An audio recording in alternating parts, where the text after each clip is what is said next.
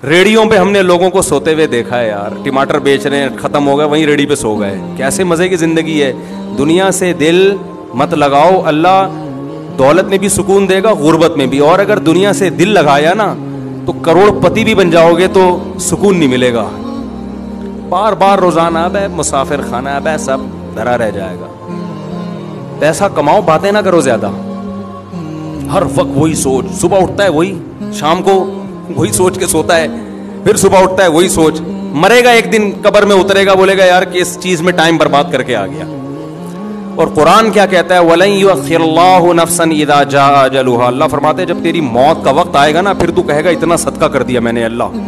अल्लाह, ये मेरा फला जगह सदका, फला मदरसे को, फला गरीब को, फला यतीम खाने को।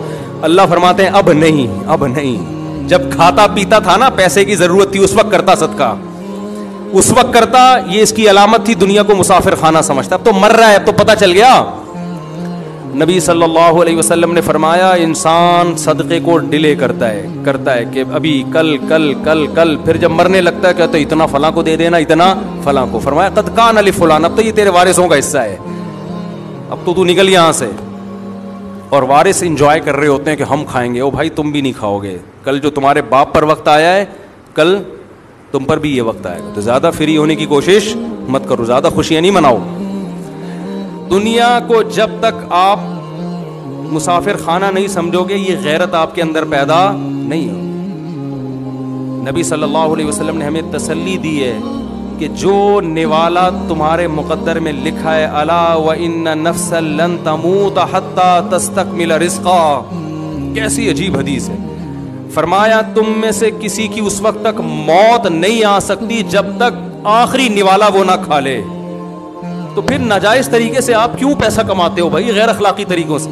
जो आपके मुकद्दर का है, वो आपको हर कीमत पे मिल के रहेगा। और जो मुकद्दर में नहीं है, कुछ भी कर लो। उन बेटों ने कितनी कोशिश की ना बाप को न छोड़ने की, मगर कुछ भी नहीं मिला। इज़्ज़त से रहते तो करोड़ों रुपए मिल जाते, टाइम पे मिल जाते। तो आपने फरमाया, अला व इन नफ्सल लन तस्तक मिला हत्ता, लन तमूत हत्ता तस्तक रिस्का वो कोई नफ्स उस वक्त तक मर नहीं सकता, हरगिज मौत नहीं आएगी, जब तक अपना दाल पानी मुकम्मल ना कर ले।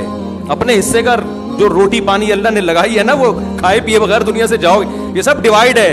कदर फीहा कवाता कुरान कह रहे हैं, इंसान के दुनिया में आने से पहले रिस्क का बंदोबस्त किया है मैंने किसको कितना खाना है, किसको कितना किसको कितना खिलाना है। पहले से सब इंतज़ाम हो चुका है। तो छीनने की कोशिश मत करो।